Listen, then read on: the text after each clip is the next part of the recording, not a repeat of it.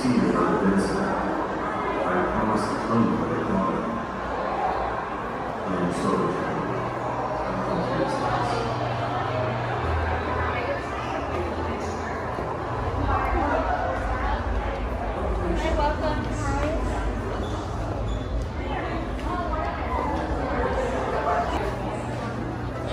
I